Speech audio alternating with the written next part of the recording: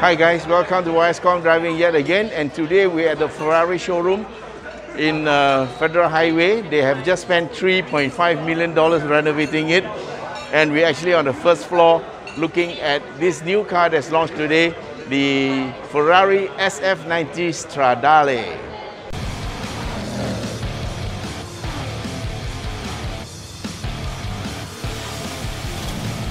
Okay, Naza Italia has spent 3.5 million ringgit doing up this new showroom with lots of partitions for privacy of customers and all.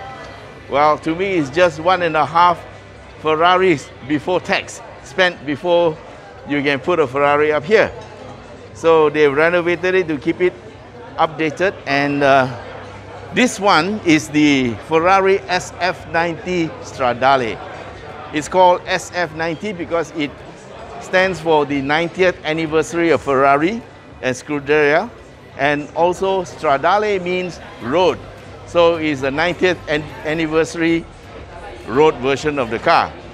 Now this is actually Ferrari's first ever plug-in hybrid. Yes, it is Ferrari's first ever plug-in hybrid.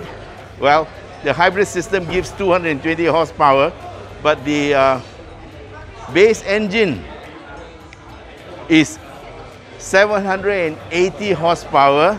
It is a V8 and it's a, a 90 degree V8 turbo to boot.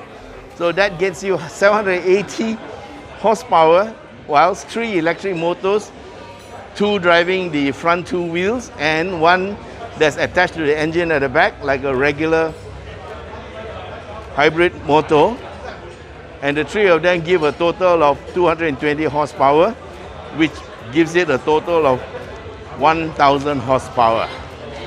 Don't ask me how much is the torque. So drive is all-wheel drive. Uh, the engine drives the, the engine and the rear motor drives the rear wheels. These are 20-inch wheels, like in any other Ferrari. But there are two motors up in front, one driving each wheel. So that makes it all-wheel drive because the rear wheels are driven and so are the front. The interesting thing is the front is driven separately. Each motor drives the wheel separately and you get what you call torque vectoring. Porsche's version of torque vectoring. By controlling the amount of torque going to each wheel, you get the torque vectoring effect. So in other words, if it's turning right, it gives you more power to the left-hand motor to drive the left wheel and that is the effect of creating torque on the left side. Okay, this shape also generates 390 kilograms of downforce at 250 kilometers per hour. We don't know what is the top speed, but anyway, at uh, speeds up to 210 kilometers per hour, the, this uh, SF90 Stradale has all-wheel drive. After that, the motor shut off and the 780 horsepower engine does its work. Okay, Looking at the wheels you have at the front, of course, these are huge four-pot Ferrari calipers with 20-inch wheels. And looking at the wheel, you can see it's very interesting.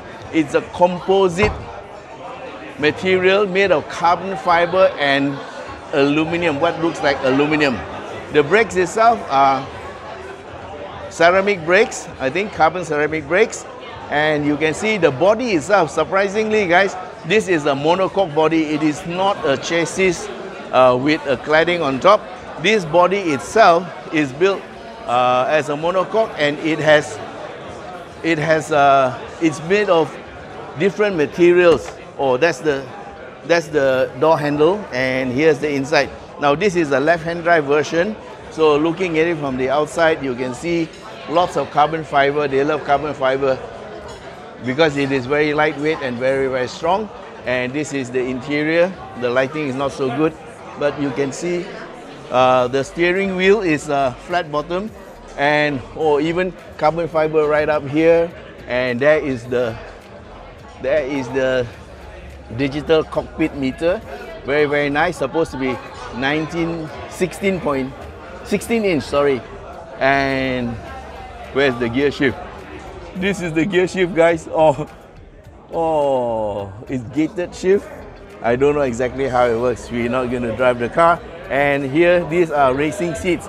they don't look very comfortable. Yeah, they are not made, made to be comfortable. There's a very, very little padding and of course, carbon fiber is all over the place. Okay, this is a solid roof.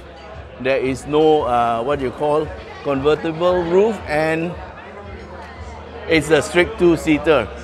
Okay, looking at this engine, this is the Ferrari engine. It's a 90 degree V8 and uh, 780 horsepower.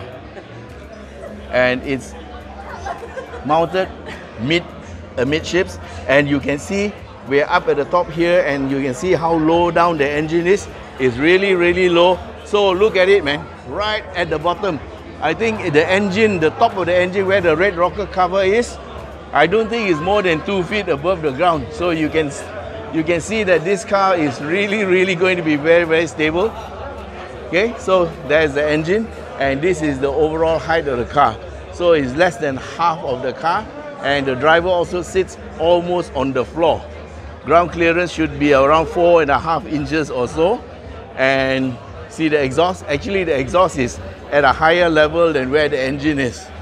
So this is a very, very interesting car.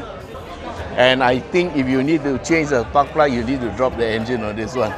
Okay, where are the turbos? We can't see them. They're somewhere down there.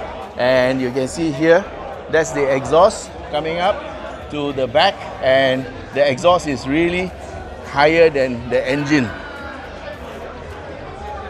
So at the back, you get a four pot calipers and they are also carbon ceramic brakes.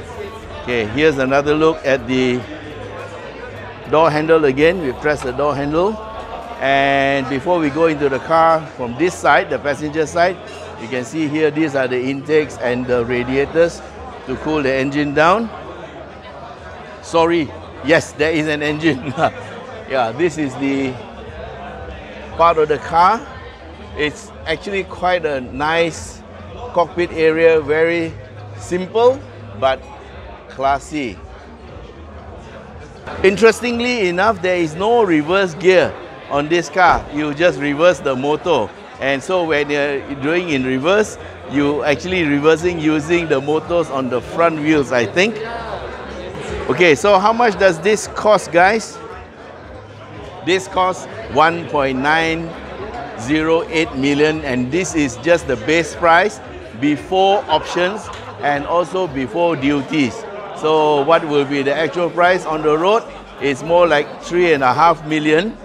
So if you have three and a half million to spare, do drop by the Ferrari showroom, guys, and have a look at the SF90 Stradale.